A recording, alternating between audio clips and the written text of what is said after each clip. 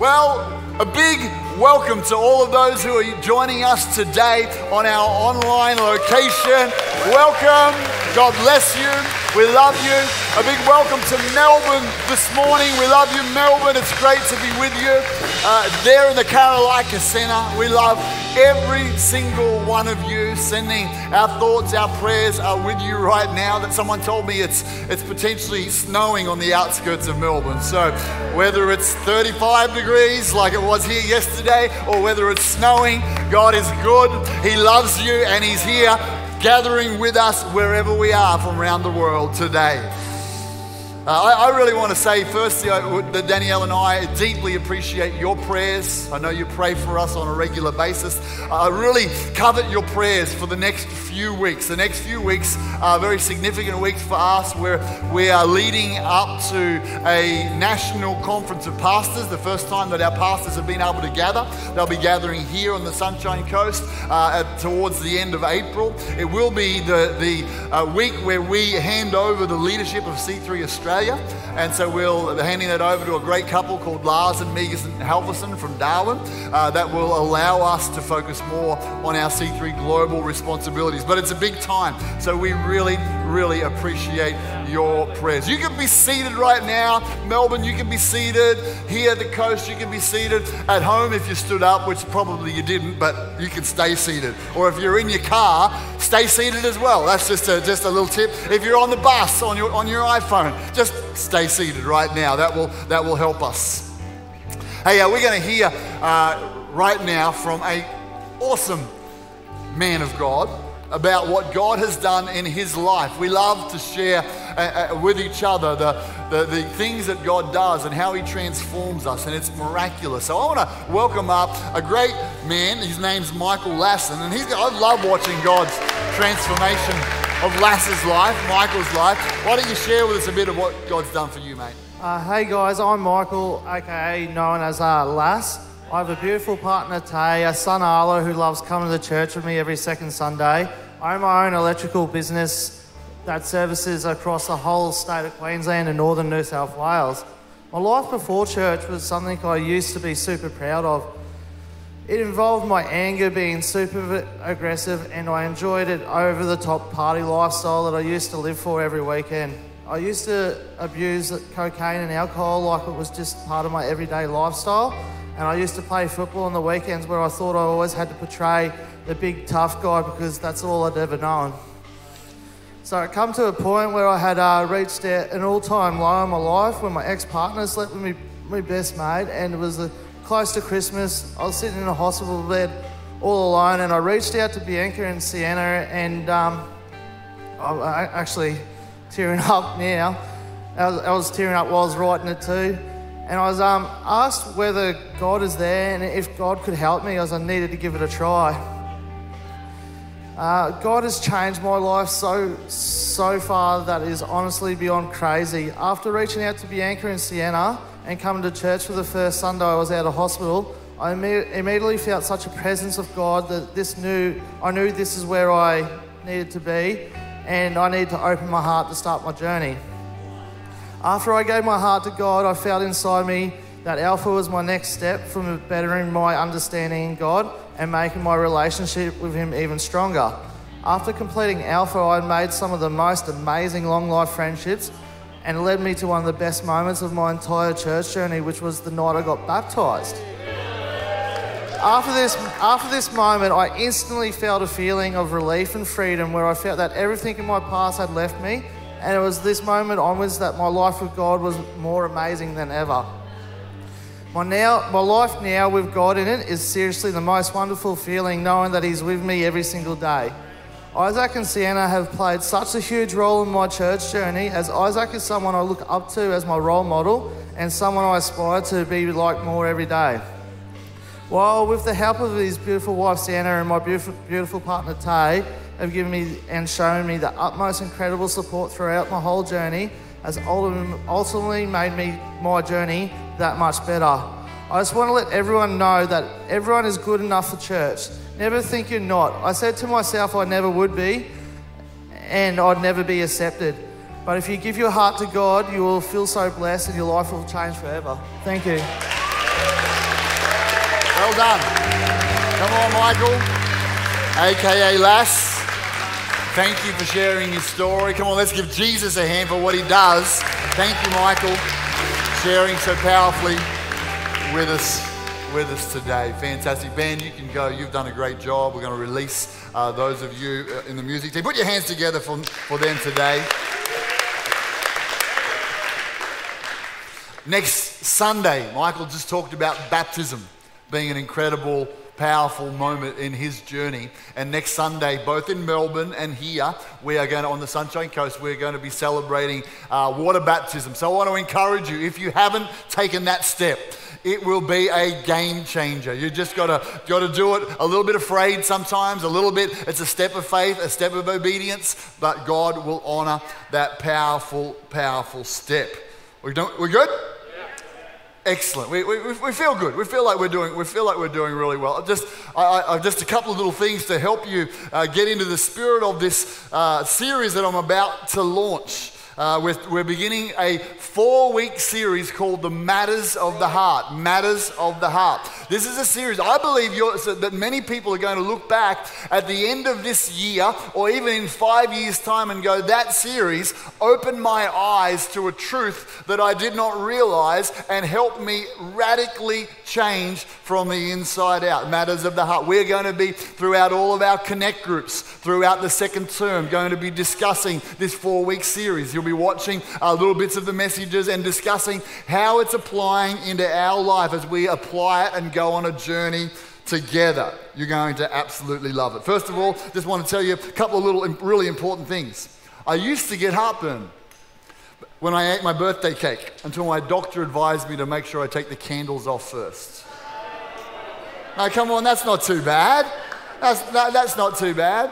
Uh, I've got a friend who's a cardiologist. It's a little weird, but he always sends me these echograms and, and ultrasounds of his heart. Uh, and it's unusual, but at least we all know his heart's in the right place. Yeah, okay, all right. There we go. Here we go. The most famous heart in Australia.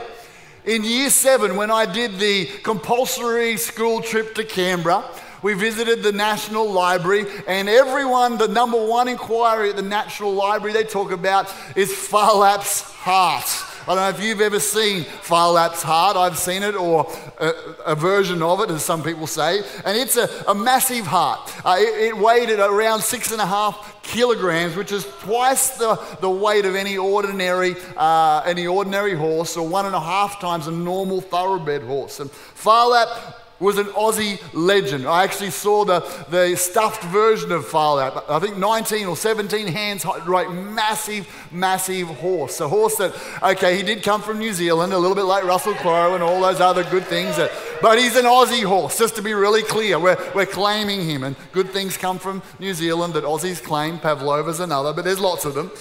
And he, he, he actually lost nine of his first 10 races, but he went on and won, uh, I think, the next 36 of 41, establishing himself as an Aussie legend. And they say that one of the keys to his success was his heart. There was the, the size and the, and the strength of his heart. And when we, you and I talk about hearts. We've got so many expressions uh, in our culture relating to the heart. There's a, there's a person, and I reckon, Michael, you'd be one of these. He wears his heart in his sleeve. That's an expression we use. Someone, you know what's going on on the inside because they're a demonstrative, expressive person. Or you might say about that person who's generous, oh, they've got a big heart. Uh, you, might, you might talk about I broke up with my girlfriend or my boyfriend and I was heartbroken.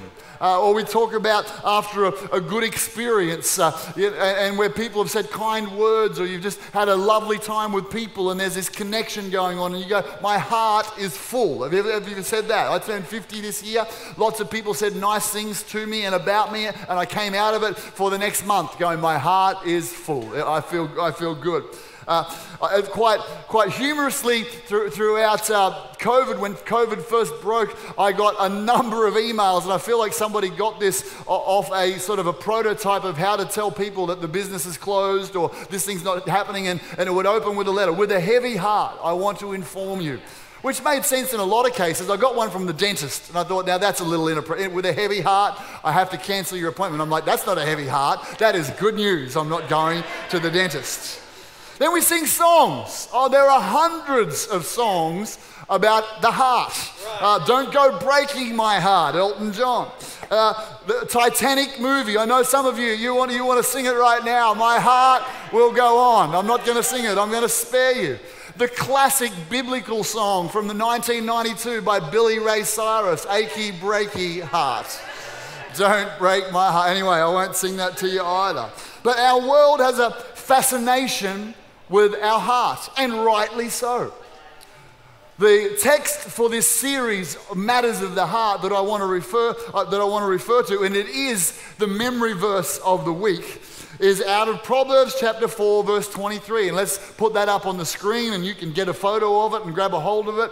And it goes like this Keep your heart with all diligence, for out of it spring the issues of life. Keep your heart with all diligence for out of it spring the issues of life. Uh, and the NLT says it like this. This while you're getting a photo of that and saving it to your phone to memorize scripture. Uh, the NLT says this guard your heart above all else. Interesting. Above all else, guard your heart. Uh, for it determines the course of your life. It determines the course of your life. This is, this is a fascinating scripture to me. So often people would say it like this Well, life is what's happening to you. So if life's going good for me, then I'll be happy. But the Bible tells us no, it's not like that. It's the other way around. Life is flowing out from you. Life is coming out of your heart. You can put two different people in exactly the same external circumstances, and one will be, will be joyful and happy and content, and another will be complaining and, and, and worried and anxious. And you go, What's the difference? It's the condition of the heart. Because life flows out of our heart, it doesn't flow towards us. So I'd like to suggest, based on that scripture, that the condition of your heart and the condition of my heart will actually determine the quality and the direction of my life. The quality and direction. Another version of that scripture says this uh, For out of your heart spring the boundaries of your life. The limitations of our life are not what other people are putting on us. It's not what other people are saying about us. It's not about, it's not about our circumstances right now. The limitation on our life are actually in our heart.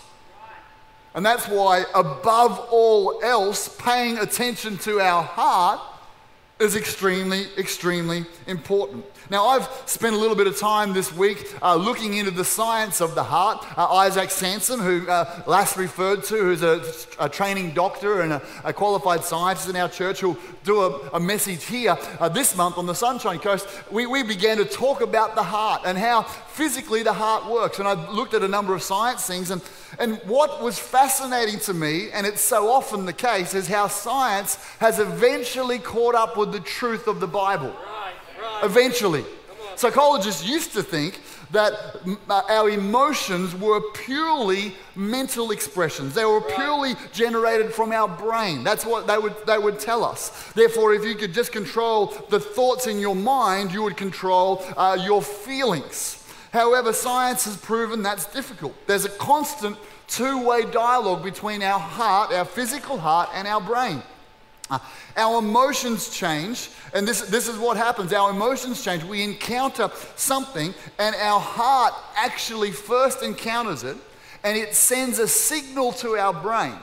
And so our heart might encounter something that, that, that triggers fear inside of us. Because when, when we're triggered, that's in our heart. Triggers fear inside of us. Our heartbeat will get erratic. That actually is part of sending a signal to our mind to engage the, uh, the, the, our brain, the fight or fight part of our brain, and release cortisol. So it's like I get triggered in my heart, a message goes to my brain, my brain tells my body how to work, and there's this interplay between the heart and the brain, but it's actually the heart sending more signals to the brain than the other way around. Amazing.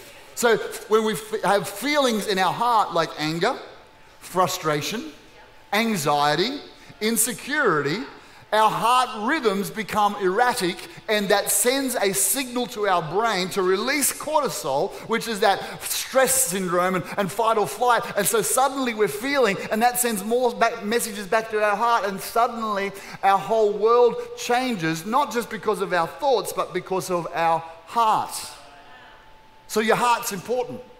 Bible says to guard it, to look after it, and to pay attention to it. All right. So let's, so at the end of each one of these four weeks series that we're going to do, I want to encourage you, if you're able to be with us every Sunday for the next four weeks, because it will build on itself. At the end of each uh, service, we're going to give what I would call heart work, not homework, heart work.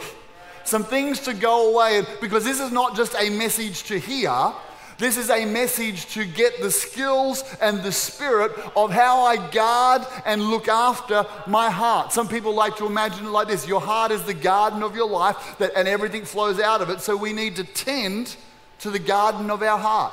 We need to pay it, we need to weed out some things, we need to fertilize some things, we need to water some things, and this is our heart. Our heart is vitally, vitally important. Are we good?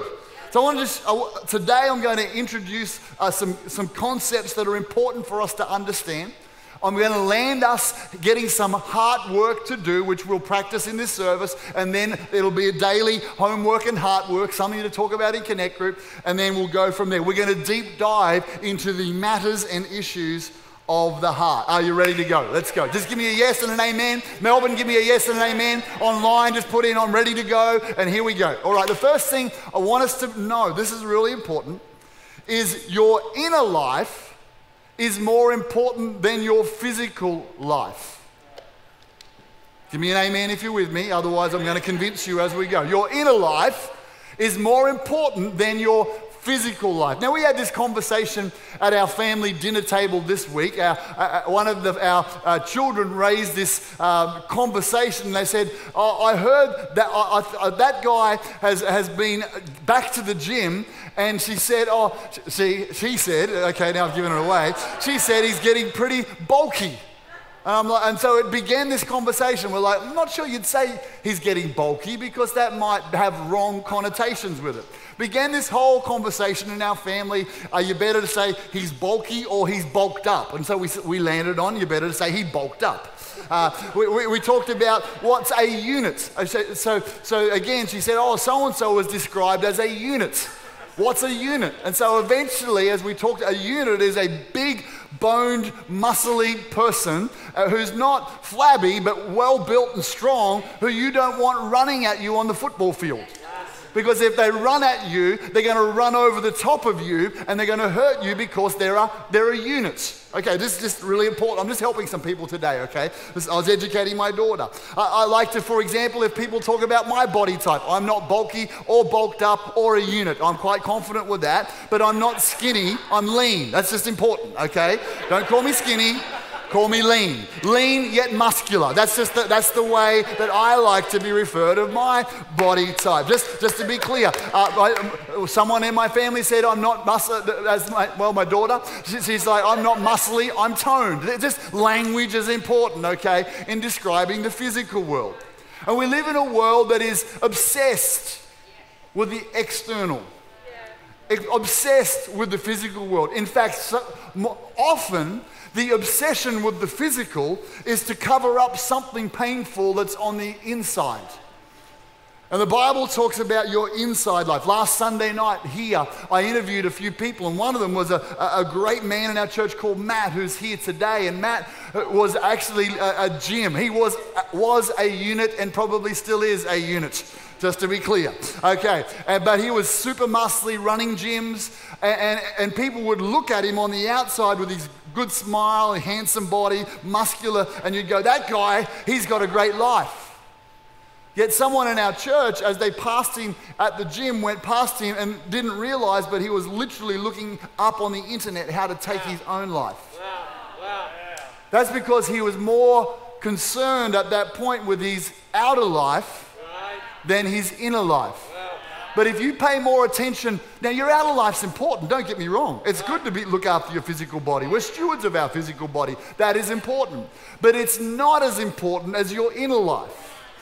And so, fortunately, Matt was able to meet this great guy in our church called Shorty and go on a journey and realize that it's my inner world that's really important. Bible talks about this in 1 Thessalonians. It says, uh, now that may the God of peace himself sanctify you completely and make your whole spirit, soul, and body be preserved blameless at the coming of our Lord Jesus Christ. It just, this gives us the idea that we are a three part being, like God, who's a Trinity. We're a three part being. We are a spirit who has a soul who lives in a body. Okay, we're, we're three parts. And your inner man, okay, in the, again some scripture. Remember, I'm laying some foundations today. Right. Ephesians 3.16 says this, that he would grant you, according to the riches of his glory, to be strengthened with might through his Holy Spirit in the inner man. Right. The inner man. Right. So you have a physical man, and I'm using the man in a non generic sense of the word, like in a more generic sense of the word. You have a physical man and you have an inner man. It's, it's, so your inner, your inner person and your outer person. And so your inner person is a mirror of your physical person. I like to sometimes think of it like this that my physical body is the hardware, but my inner body is the software. Right. My inner person. And so you might have heard it expressed like this uh, you, you have a physical brain but your inner man is your mind. Right. Your mind. Your mind and your brain, and they're interconnected. So when you die one day, you will leave behind a physical body. And that physical body will have a physical brain. And it will have a physical heart. But you, your inner man, and that's your spirit and soul together make up your inner man, you will still exist you will still, your inner man will still have a heart. Your inner man will still have a mind. Right. It'll have lost the hardware, but it will still be you. That's you who will live for eternity. And what you do on earth will determine what happens to you, the person, when you die, to your spirit and your soul, which is your inner man. Are you with me so far? Therefore, your inner man has a heart and a mind.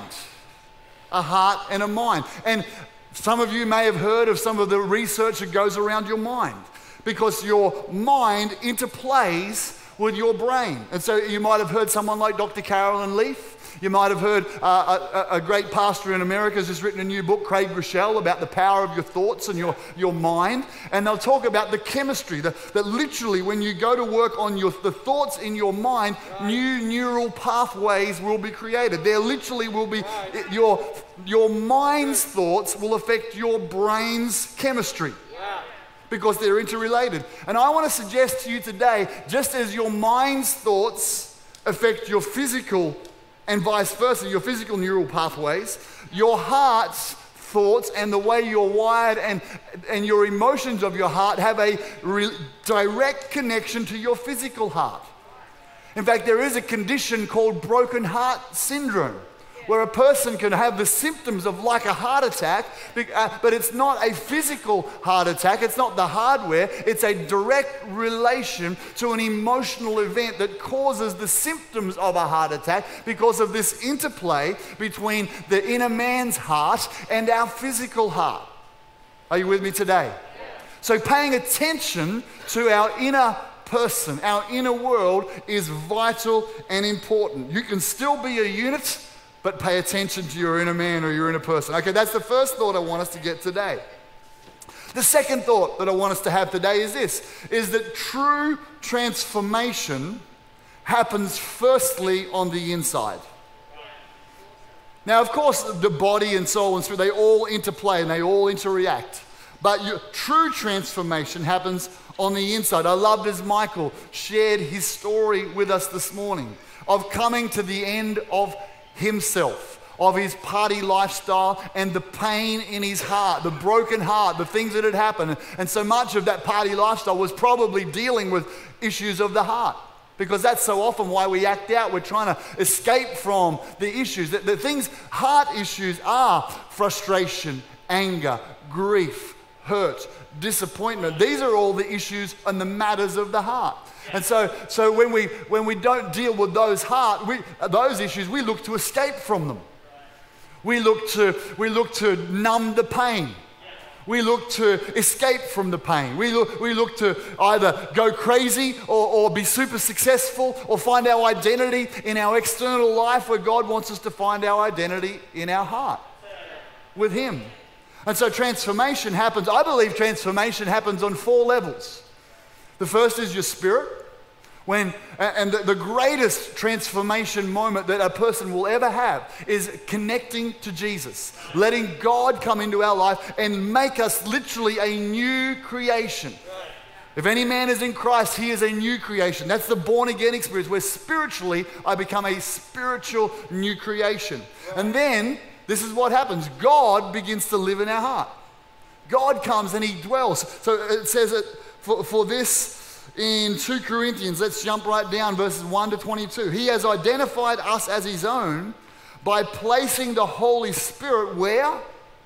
In our hearts, as the first installment that guarantees everything he has promised us. So we become a new creation. Ezekiel's a prophecy about this. I'll give you a new heart and I'll put a new spirit in you. I'll take out or deal with your stony, stubborn heart and I'll give you a tender, responsive heart. This is what God wants to do for you and I. Not have us have a hard heart, a heart we're disconnected from, a heart that's angry, but a tender, loving, responsive heart. And it's a work of the Holy Spirit. He says, I'll, I'll put my spirit in you so that you will follow my decrees and be careful to obey my regulations. I'll put my spirit in you. When you become a Christian, two powerful things happen instantly. One, you become a new creation spiritually with the DNA of Jesus. You're no longer the same person trying to be a better person. You're a different person with a different, with a different genetic spiritual code, that of Jesus. And his Holy Spirit comes and lives in our heart. That's now where he dwells and he begins the work of transformation as, our, as we grow spiritually. We get delivered from demons, that's spiritual. Our spirit grows, that's spiritual, that's the first part. But then God goes to work on our heart. Jesus said, The Spirit of the sovereign Lord is upon me because He's anointed me to preach the good news and to what? To heal the brokenhearted. Once you've got the good news, you can be saved. Then what God does is He begins to work on our heart to heal the broken hearted. And then out of healing our broken heart, the Bible talks about he begins, and he does these things simultaneously. It's not like, it's not like this. Okay, you get born again, you grow your spirit. We deal with the demons. That's that phase. You never have to worry about that. Then I'll go to work on your heart, and we'll do that for five or seven years, and, and then I'll renew your mind, and, and then you can change your behavior. In 15 t- years' time, you can start focusing on your behavior. No. Simultaneously, spiritually born again, getting free, God's working in my heart, my mind is being renewed, and my behavior is being transformed. Now, that, that is good news. This, I, I, just, I, I, love to paint the picture to make, be clear because if we go, oh, I'm going to become a new person, a better person, so often we go, behavior. What I do and say. If I can fix what I do and say, then I'll be good. But God says, no, it's all of these things. It's spiritual, it's heart, it's mind, and it's behavior, words and actions. And, and you can't excuse your behavior because you go, oh, don't worry about my behavior. That doesn't really matter what I say. He goes, yes, it does because it's flowing out of your heart. So I'm going to fix your heart at the same time as working on your behavior. Are we, are we making sense today? So here's the, here's the first thing, and here's your first bit of heart work. The first bit of heart work. Romans chapter 5, verse 5 says this Now, hope does not disappoint because the love of God has been poured out in our hearts by the Holy Spirit who was given to us. I think this is one of my favorite verses in the Bible. I probably pray this almost every day. God, would you pour your love into my heart by your Holy Spirit? That, that's his first job when he lives in your heart. The Spirit of God's first job now that he lives in your heart. And if he doesn't yet live in your heart, if you've never asked God to come into your life, in a few moments there's going to be a chance to do that. It will change everything, it will transform you. But the first thing that happens when the Holy Spirit lives in your heart, the Bible says his job is to change your heart so you connect to God as a father. You cry out, Abba Father, Daddy God, God, you're amazing. And he pours love into your heart. So here's, here's your first bit of heart work slash homework. is to start to pray this simple prayer every day Holy Spirit, would you pour God's love into my heart? Great. Would you pour God's love into my heart? I have a ritual in my day, and I've had it for a long time, where I choose a song, a worship song, that relates to the theme of God pouring His love into my heart, and I'll play it, and I'll slow everything down, and I'll pray this prayer Holy Spirit, would you pour the Father's love into my heart? And I'll begin to meditate and think on the thought of God's love for me. And, and I'm, I'm, my, my brain, which thinks and gets distracted and everything's going on, is one level, but a deeper level is my heart. And my heart thinks, I'm going to get to that in a moment. My heart has thoughts as well as my brain having thoughts. Right.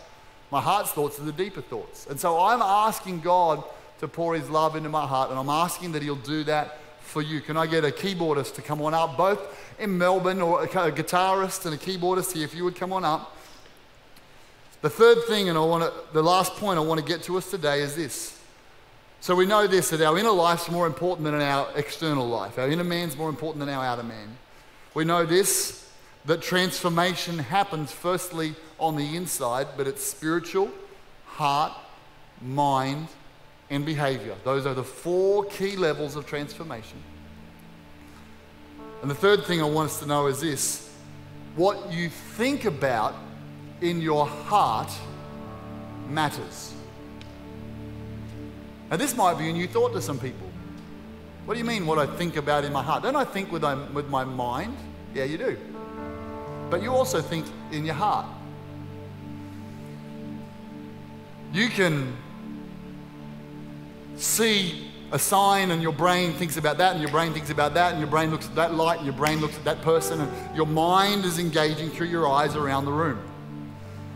But simultaneously, I can see a man here whose name's Ian Dimon. I can see him. I go, nice shirt, great. I like his brown shoes. That's my mind. But my heart has a feeling associated with my connection to Ian Dimon. My heart tells me he's kind. My heart tells me he's encouraging. My heart tells me he's a great person to talk to and engage with. My, that's, that's my heart. My mind's telling me he's wearing a mask today. That's a bit random. There's, there's, these two levels. You might refer to it as the conscious and subconscious. And we interact with the world through the thoughts of our heart. And those thoughts in our heart have been written there or locked in there over a period of time through experiences, through upbringing, positive experiences, negative experiences, things that have been spoken over you, things that have been spoken over me. They have shaped my heart. Anxious thoughts in my heart, loving thoughts, critical thoughts of others, encouraging thoughts. They, they all can exist in our heart. Guilt and shame are issues of the heart. Joy is a matter of the heart. These are, these are things that flow out. So, looking after our heart's really important.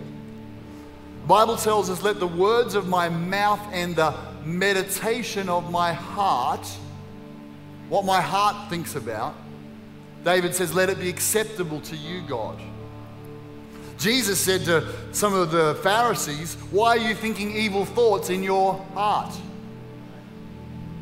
Jesus said, If someone looks at that woman, that's look, brain, but then commits adultery with her in his heart, or thinks lustfully about her and imagines things, that is as bad as doing it in God's eye because our heart is as important as our external world what I'm imagining, what I'm meditating on, what I'm thinking about matters to God. In fact, what I'm imagining, pondering, thinking about, spending time playing out in my imagination, which is part of my heart's activity, will actually determine the condition of my heart.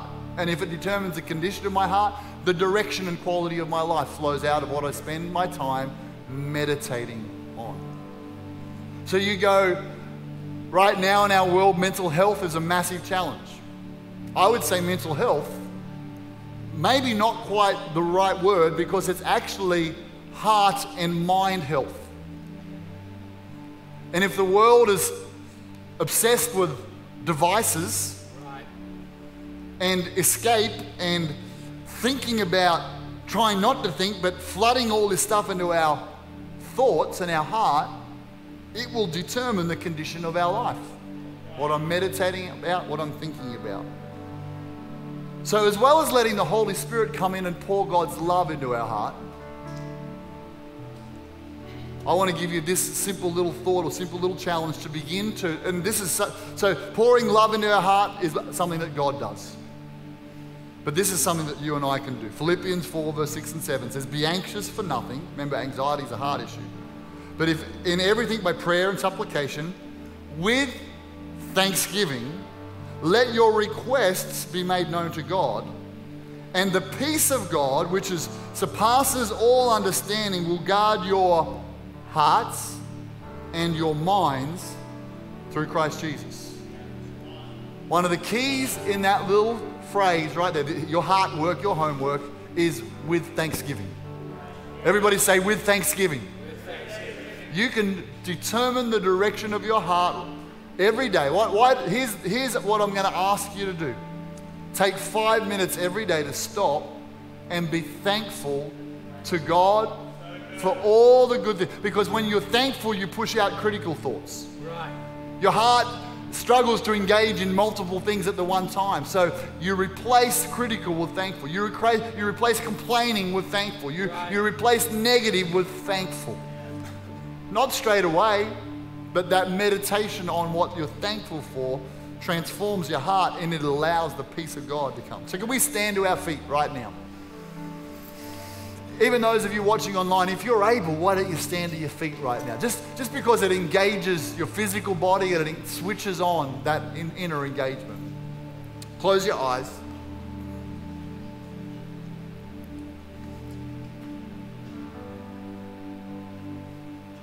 I want you to think about God right now. I want you to pray this prayer after me. Say these words Father, I ask you to pour your love into my heart through your Holy Spirit. I receive your love. Change my heart. Soften my heart. Fill me with your love. In Jesus' name. Father, I'm praying for every person listening right now. You love them. Break down the hardness that blocks us receiving your love. Remove the obstacles so we can live a, a, life out of the knowledge of the love of our Father. Would you take one minute right now and begin to just make the choice to thank God for something? Maybe it's five or six. Just what are you thankful for? Just meditate on those things. Thank God. Your thoughts matter to God. Thank you, God. Father, we thank you. I'm not, going to say anything, just while you thank God.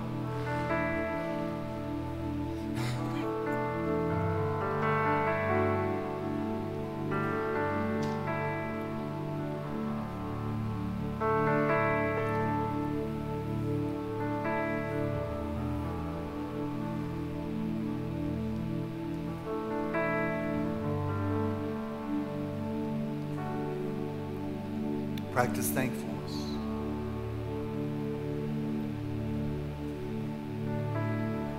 For the next 30 days, as we do this journey together about the matters of the heart, would you every day ask God to fill you, fill you with His love?